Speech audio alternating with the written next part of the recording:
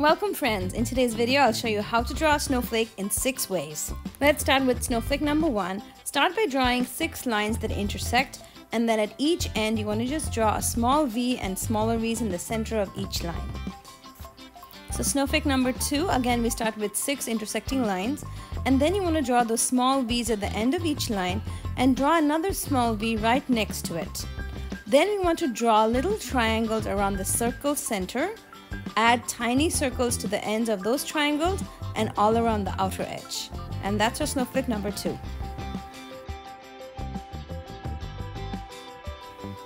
Snowflake number three, again start with three intersecting lines as before, but this time you want to draw a large V towards the top of each line, but not at the edge. Then you want to draw a circle and three small intersecting lines. Finish off those lines with tiny V's and that's our snowflake. Snowflake number 4 is easy for even kids to draw. Again, draw 3 intersecting lines and finish off each line with a circle. Snowflake number 5. This time you want to start with 2 intersecting lines and then draw 2 more intersecting lines at an angle. Now finish off each of those lines with a circle, add a circle in the center as well.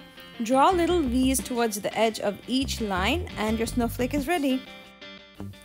Now snowflake number 6 is the fanciest of them all. You want to start with 6 intersecting lines, draw little V's towards the edge and then finish off with a circle.